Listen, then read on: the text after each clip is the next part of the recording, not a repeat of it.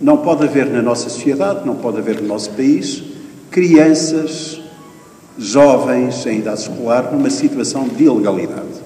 E, portanto, nós queremos que todas as crianças, repito, todos os adolescentes em idade escolar, sejam considerados numa situação de legalidade para se poderem integrar plenamente na nossa sociedade e desenvolver livremente o seu projeto de vida. Até ao momento já contamos com um número de cerca de 700 crianças ou jovens que foram legalizados neste processo. Hoje tratou-se de dar eh, autorizações de residência a mais de 34 crianças e, como ouvimos dizer a uma delas um pouco mais espigada já, trata-se de reconhecer plenamente os seus direitos. Direitos a todos os níveis, incluindo direitos de cidadania. A nossa sociedade é, sempre foi, uma sociedade de encontro de civilizações, de encontro de etnias, de encontro de culturas. E isso não fez da nossa sociedade uma sociedade mais pobre, fez da nossa sociedade uma sociedade mais rica ao longo da história. E aí continuará a estar a chave do nosso progresso e do nosso desenvolvimento.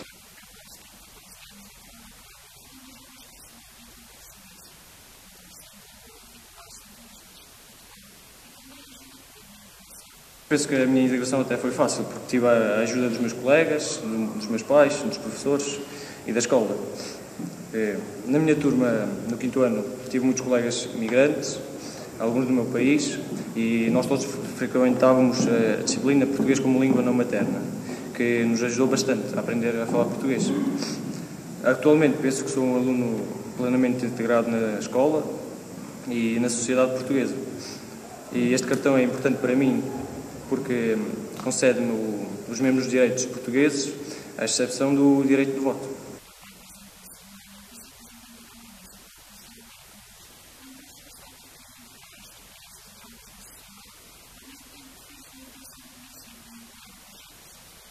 A Câmara, obviamente, dentro das suas competências, tem aqui um bom exemplo.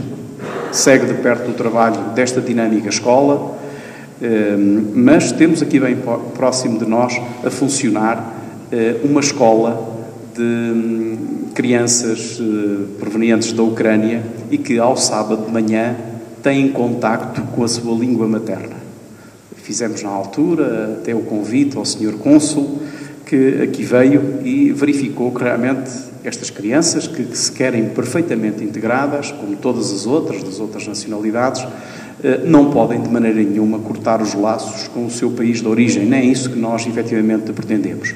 E, portanto, estamos a acompanhar, juntamente com uh, uma série de entidades, a Caritas uh, e tantas outras entidades que perseguem realmente o objetivo de uma plena integração, de fazer com que a integração destas crianças e dos seus pais, dos seus familiares, seja o mais amena possível. Queria dar a boa notícia à senhora diretora, que muito considero, que realmente o projeto Desafios que está aí em curso terá, obviamente, confirmei-o antes de vir, o apoio do município, que fazemos com todo gosto, porque sabemos que é também um trabalho importante de integração.